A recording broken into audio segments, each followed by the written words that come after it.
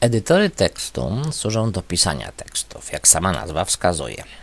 Jednym z takich edytorów, może nawet najbardziej popularnym, jest Microsoft Word. Na przykładzie wersji 2013 zapoznamy się teraz na początku z budową, a potem z tworzeniem dosyć zaawansowanego dokumentu. Będzie to oferta biura turystycznego. Na razie nie przepisujcie tego tekstu, który będziecie widzieli na ekranie. Powtarzam raz jeszcze, nie przepisujcie tego tekstu, gdyż wiele elementów tak jak już w tym momencie widoczny spis treści na ekranie, utworzy się automatycznie. Teraz przedstawię dokument w Wordzie, omówię jak on będzie działał, a potem po kolei powiem jak wykonać poszczególne elementy. Zacznijmy może od powiększenia ekranu tu po prawej na dole mamy skalę powiększenia. Możemy oczywiście też ten ekran powiększyć, kiedy naciśniemy i przytrzymamy klawisz Ctrl i pokręcimy rolką myszki. O, właśnie w ten sposób uzyskujemy powiększenie. I jeszcze jedna ważna rzecz, żebyśmy wszyscy dobrze wszystko widzieli, to proponuję, aby w menu widok została włączona linijka. W ten sposób się pojawią tu u góry te białe paski, a te szare oznaczają wartości marginesów i pracujemy w układzie wydruku. A więc tak, że to, co będziemy widzieli na ekranie, będzie bardzo, bardzo podobne do tego, co otrzymamy na wydruku. Wróćmy teraz do zakładki narzędzia główne ja omówię, jak nasz dokument będzie no, działał, jak on będzie reagował na poszczególne kliknięcia myszą, Natomiast potem przedstawię po kolei, jak każdy z tych elementów wykonać. Na początku widzimy spis treści i ten spis treści, on powstanie automatycznie. Nie przepisujcie go na początku, dlatego że wszystkie te napisy, zobaczcie, nasza oferta, promocja, hotel Grand Resort, one, nasza oferta, zobaczcie tutaj w tym miejscu, mamy promocje, Hotel Grand Resort, one już wszystkie są w naszym dokumencie, natomiast pojawią się automatycznie w wpisie treści, tylko musimy coś tam zrobić. A więc nie przepisujemy ich. Mało tego, gdybyśmy to przepisali, to nie działałoby to tak, jak to pokażę w tym momencie. Zobaczcie, kiedy ja klikam w jakiś podrozdział z naciśniętym klawiszem Ctrl, tak jak nam się wyświetla ten dymek, zobaczcie, naciskam Ctrl i klikam na przykład w pokoje myszką. Przeniosłem się automatycznie do miejsca w dokumencie, gdzie nazwane zostało ono pokoje. Jest jakiś podpodrozdział, bo teraz zobaczcie, że w naszym spisie treści tym automatycznym, przypominam, mamy jakby rozdziały, podrozdziały, to jest ten Hotel Grand Resort i trzecia warstwa pod podrozdziały, o tym będę mówił. Mało tego, mamy numerację stron. Ta numeracja automatycznie zostanie nadana, a więc te czwórki, piątki czy dwójki pojawią się tu automatycznie. Mało tego, jeżeli ja zmienię nazwę rozdziału, również w spisie treści, to się zmieni. Spróbujmy. Przeniosę się do podrozdziału o nazwie, no te pokoje, może tam, gdzie kliknąłem i zwróćcie uwagę, on jest teraz na stronie czwartej. A więc przesuwam się, tam za chwileczkę będę omawiał kolejne elementy tego dokumentu. Chyba minąłem pokoje, o, są pokoje. I teraz zobaczcie, dopiszę specjalnie, potem to oczywiście usuniemy, poko i e, e. Mało tego, on był na stronie czwartej. Ja teraz w wyniku wielokrotnego naciśnięcia klawisza Enter, zobaczcie, zepchnę go na piątą stronę. I teraz uwaga, no oczywiście musiałbym cały ten spis treści, gdyby on był ręcznie wpisywany, musiałbym go poprawiać. A co w naszym przypadku klikam prawym klawiszem myszy.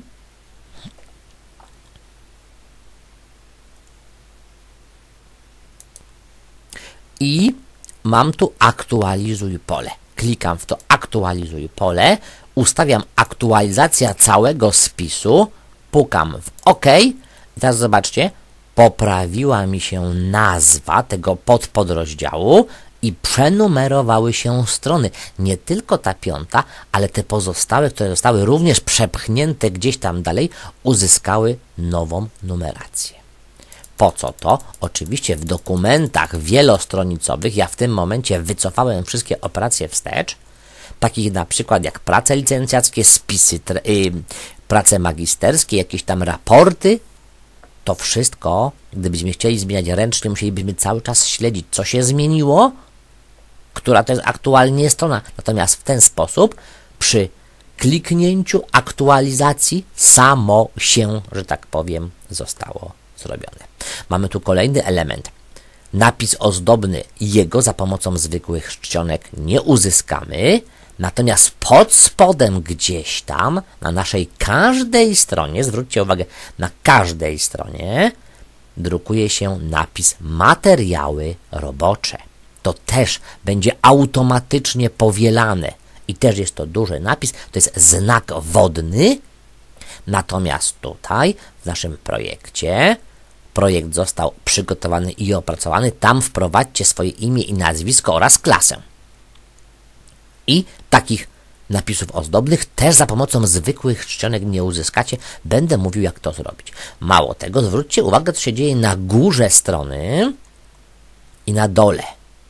Otóż nie ma na pierwszej stronie nagłówka i stopki, natomiast na każdej następnej stronie, na górze strony, w nagłówku będzie automatycznie, zobaczcie, pojawiał się napis Biuro Wypoczywaj SA, oferta specjalna. Oczywiście ja mógłbym na 70 stronach wprowadzać to ręcznie, ale kiedy zmieniłbym zawartość poszczególnych stron, te wszystkie elementy zostałyby przesunięte niżej. Natomiast ja w tym momencie, tworząc specjalny nagłówek, po pierwsze, automatycznie mi się on pojawi na wszystkich stronach. Uwaga, na pierwszej go wyłączymy i w wyniku przesuwania tekstu on cały czas będzie w specjalnym miejscu na górze strony. On nie będzie podlegał tym naszym przesuwaniom, które przed chwileczką widzieliście, kiedy kombinowałem ze spisem treści. Podobna rzecz ma się z dołem strony, ze stopką. Ona na pierwszej stronie jest wyłączona, ale już widzicie moment, kiedy ja nagrywam ten film, 23 września, 12.42 i 06 sekund, wtedy właśnie ten dokument został otwarty i ja w tym momencie go nagrywam to zostawi, zostało samo uaktualnione. Ja nie muszę pilnować godziny wydruku czy daty. Podobnie ze stronami. One same się liczą. Tu aktualnie jest cały czas numeracja stron, a więc strona druga, wszystkich stron jest 6 i to są elementy automatycznie, ręcznie po każdej zmianie, czasami dopisaniu jednej literki, jakiś rysunek zostałby przepchnięty na kolejną stronę i my musielibyśmy przenumerowywać wszystkie strony. A potem w wyniku skasowania wcześniej gdzieś jakiegoś błędu okazałoby się, że znowu te strony wszystkie ulegają przenumerowaniu, a tak, korzystając z operacji automatycznych, my cały czas jesteśmy pewni, że jest dobrze wszystko i my, że tak powiem, mamy to bez żadnego wysiłku. Popatrzmy, co jeszcze. Mamy tutaj jakiś wstawiony clipart, czy też zdjęcie, mamy znowu duży napis ozdobny, którego nie uzyskamy, że tak powiem, za pomocą dużych czcionek i mamy coś, czego nie będziecie przepisywali. Jest to pola, są to pola do korespondencji seryjnej. Tam automatycznie zostaną wstawione dane z ostatniej strony, to jest taka specjalna tabelka i w wyniku kilku kliknięć myszą zostaną wygenerowane imienne oferty z biura turystycznego do tych poszczególnych osób. A więc uwaga, już na przyszłość, będę o tym jeszcze mówił, my nie przepisujemy tej tabelki, nie przepisujemy, a więc u Was w do, Waszym dokumencie pojawi się tylko 5 stron, nie będzie tej szóstej, bo ta szósta jest po to, abyście mogli ją sobie wprowadzić, ale w odpowiedni sposób, o czym Was poinformuję w dalszej części filmu. Czyli mamy tu pola. I teraz jak odróżnić pole specjalne od zwykłego tekstu? Zobaczcie, kiedy ja klikam w takie pole, ono się zaznacza na szaro. Kiedy ja klikam w, zły, w zwykły tekst, mam po prostu pojedyncze zaznaczenie w danym miejscu pomiędzy literami. Następna litera. Takiej dużej litery nie zrobicie. To jest inicjał. To jest inicjał. Oczywiście jego parametry, ile on wierszy zajmuje, w jakiej odległości jest od lewej części, to wszystko będziemy ustalali. A tu, tu nie ma spacji między tymi literami. To tekst rozstrzelony. Też powiem, jak to będziemy robić. No i uwaga, mamy marginesy w tej części. Zobaczcie, marginesy są tutaj, natomiast w tej części, zobaczcie, marginesy zostały zmienione, a więc w obrębie jednej strony uzyskaliśmy różne marginesy dla poszczególnych części tekstu. Kolejna rzecz, hiperłącze, takie jak na stronach internetowych. Oczywiście, my tak jak w spisie treści możemy przedostawać się do odpowiedniego rozdziału, ale klikając kontrolem możemy wybrać sobie miejsce w dokumencie, może to być rysunek, czy też poszczególny wyraz, do którego w wyniku takiego hiperłącza, tak jak w internecie, się przedostaniemy. Kolejna rzecz. Lista wypunktowana. To nie są jedynka czy kwadraciki numerowane ręcznie. Proszę zobaczyć. Ja znowu za chwileczkę wycofam te wszystkie zmiany kiedy ja, będąc tu na końcu, nacisnę Enter, zobaczcie, tworzy mi się kolejny punkt.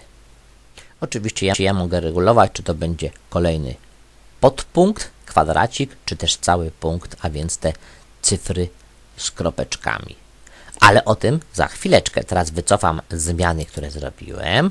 No i popatrzmy dalej. Popatrzmy dalej, co tu się dzieje. Mamy znowu odpowiednio kawałek, sformatowany kawałek tekstu.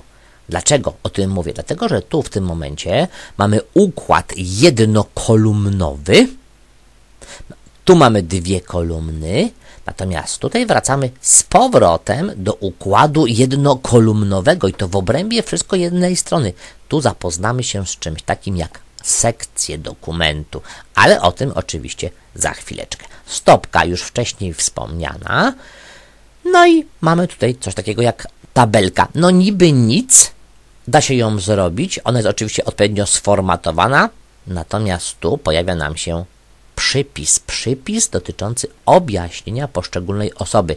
Jest to przypis automatycznie numerowany, a więc ta jedynka to nie jest napisana jedynka indeksem górnym, ponieważ przy czymś takim nam się ten dymek nie pokaże.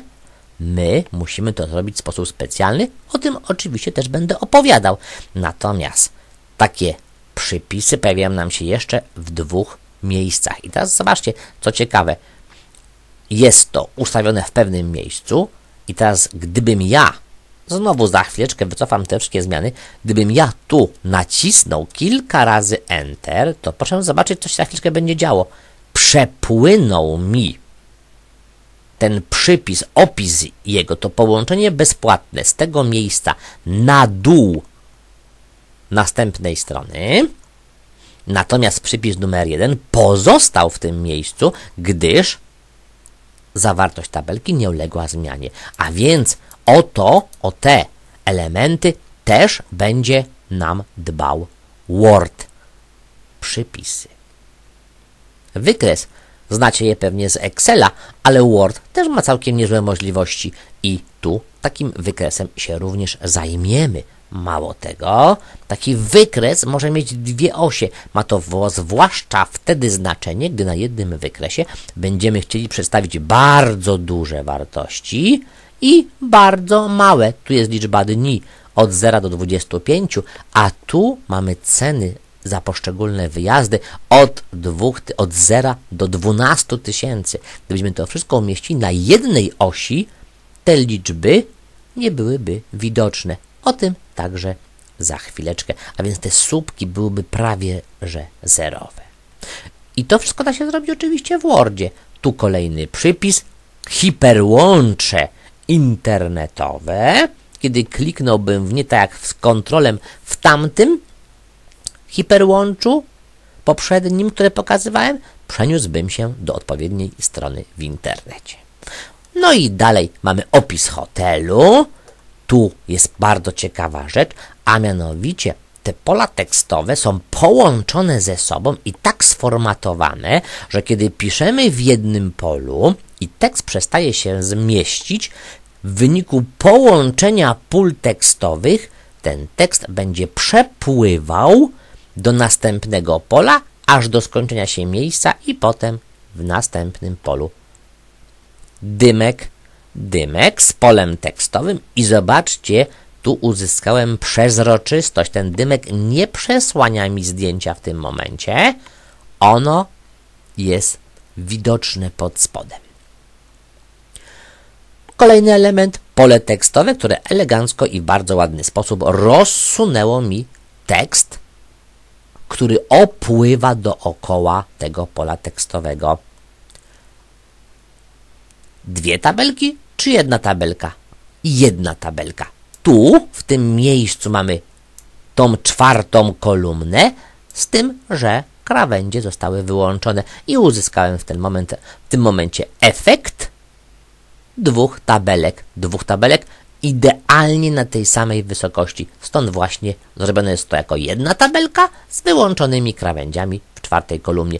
O tym także tu mamy trzeci przypis, jest dymek, za chwilę go pokażę. W tej tabelce jest jednym z niezwykłych rzeczy, które Wam pokażę, jest formatowanie z wykorzystaniem tabulatorów dziesiętnych.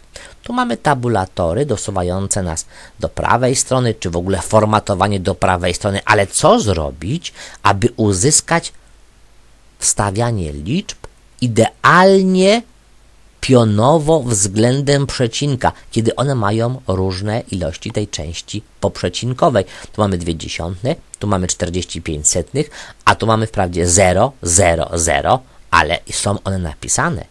I teraz są takie tabulatory, o tym będę mówił, które umożliwią sformatowanie tego tekstu idealnie pionowo względem tej pozycji przecinka schemat organizacyjny, to także da się zrobić w Wordzie i to także pokażę.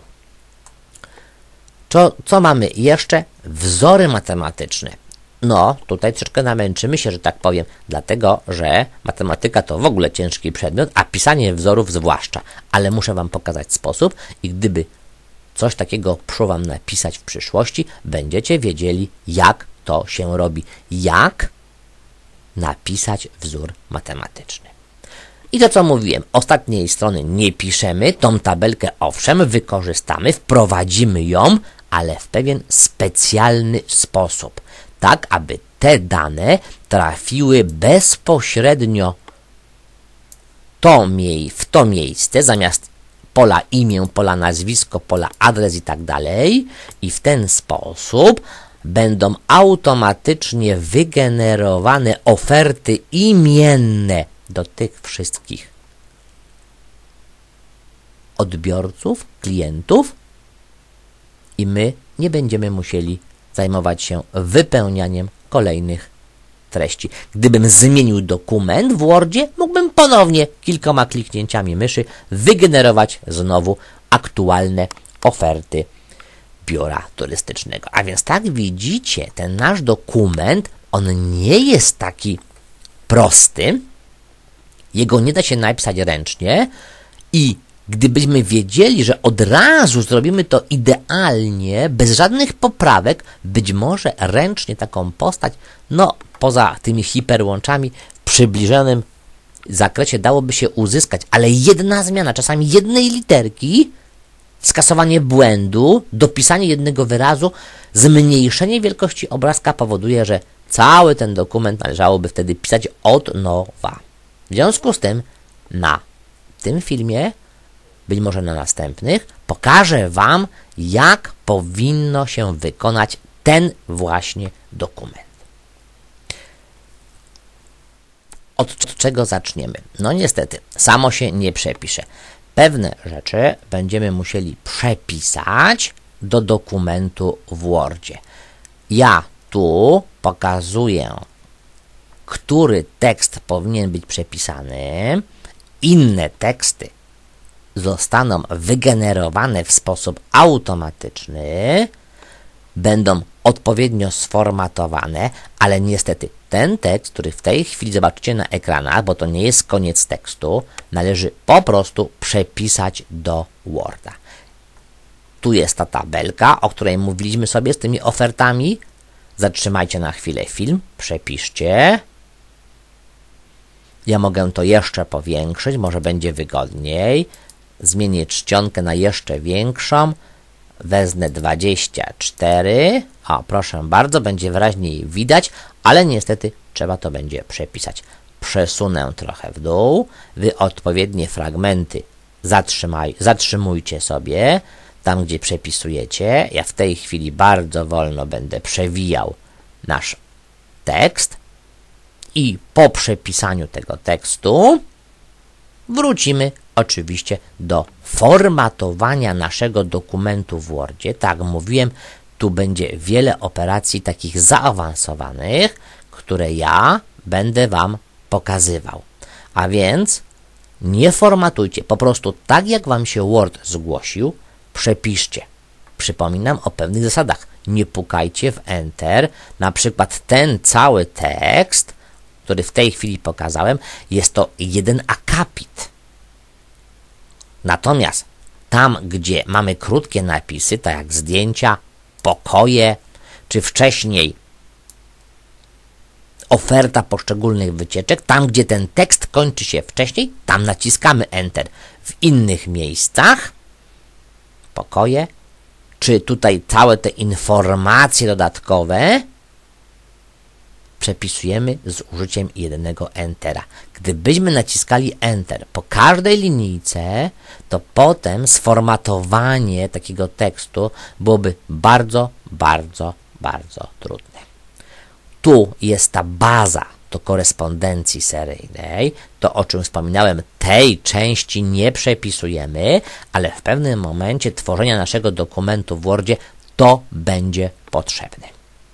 To jest nasz cały dokument. Oczywiście, ja ponieważ przepisałem go już wcześniej, zaznaczam całość Ctrl A, zapamiętuję Ctrl C, przełączam się do Worda, otwieram nowy dokument w Wordzie i po prostu Ctrl V wklejam go. To zobaczcie wygląda w tej chwili w ten sposób. Żeby widzieć, gdzie został naciśnięty Enter i ewentualnie go usunąć, powinniście włączyć Pokaż wszystko w tych narzędziach głównych i te znaczki, o, które w tej chwili zaznaczyłem, to są właśnie ślady po enterach. Widzimy również malutkie kropeczki, to są ślady po spacjach i możemy sobie określić, no na przykład to mogę wykasować, zaznaczam, kasuję deletem, i podobnie mogę przejrzeć pozostałe te elementy, czy ja dobrze wykonałem. Tak mówiłem, ja miałem to przepisane już wcześniej. Tu zobaczcie, odpowiednikiem mi się skopiowało, a więc powinno to wyglądać w ten sposób. Dokonujemy po przepisaniu w Wordzie delikatnych korekt błędów. Proszę zobaczyć. I tu się pojawia ta część, której oczywiście Wy nie powinniście przepisywać. Ja, przepisywać. ja zaznaczyłem wszystko. Tak to powinno wyglądać, a więc Twoja pierwsza część powinna wyglądać w ten sposób. Ja tu pokazuję, gdzie powinny zostać powstawione entery. Jeżeli tych znaczków masz za dużo, przykładowo ja przesunę się na początek i załóżmy, że tu niepotrzebnie postawiłem, o, zobaczcie, entery to potem bardzo by mi utrudniało, wręcz uniemożliwiało odpowiednie sformatowanie. A więc jeżeli z taką sytuacją się zetkniecie, jak ja tu postawiłem, to uwaga, ustawiamy się tuż przed, przed Enterem i klawiszem Delete kasujemy.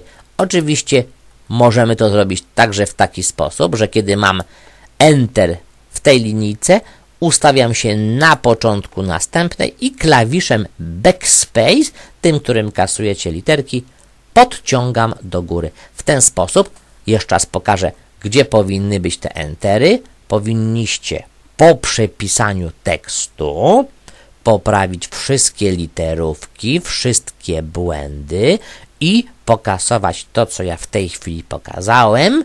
Są to wszystkie niepotrzebne entery. Powtarzam, nadmierna ilość tych enterów uniemożliwi wykonanie dokumentu, zablokuje możliwości formatowania, wyrównywania wielu fragmentów dokumentu oferta biura turystycznego. A więc dokonajcie w tym momencie korekty wszystkich enterów, literówek i ewentualnie, tak jak tutaj, o, ja postawiłem, nadmiernych ilości spacji pomiędzy wyrazami. Musi być tylko jedna spacja, a znaki interpunkcyjne stawiamy bezpośrednio za wyrazami, tak jak tu wahaniom, kropka, a dopiero potem spacja. I podobnie jest z przecinkami, z dwukropkami, z średnikami i innymi znakami interpunkcyjnymi. Zatrzymajcie film, dokonajcie korekt, za chwilę przejdziemy do kolejnego elementu. Tu jeszcze jedna uwaga. To, co w tej chwili widzicie, a więc te entery i spacje, a więc tak zwane znaki białe, niedrukowane, one się nie drukują. Czy ja wdrukowałbym w tym momencie, kiedy one są widoczne, czy przy wyłączonych znakach postać dokumentu drukowanego będzie identyczna, taka sama. A więc włączenie tego pokaż wszystko, tych wszystkich znaków niedrukowanych nie powoduje zaburzenia w drukowaniu. W związku z tym zapisujemy dokument, wysyłamy go na przykład na swoją pocztę, czyli jako załącznik do listu pisząc sami do siebie, a jeżeli macie dostęp do chmury, na przykład do Google Dysku, wyślijcie go na dysk Google'a, tak, aby on nie przepadł. Przechowajcie go nie na szkolnych komputerach, tylko gdzieś, tylko w sobie dostępnych miejscach. Pendrive, poczta e-mailowa czy dysk w chmurze. To jest koniec tego filmu. Następny film zaczynamy od momentu, kiedy przepiszecie cały ten tekst, poprawicie go i w tym momencie ja rozpoczynam opis, pokazanie wszystkich elementów związanych ze sformatowaniem tego naszego tekstu.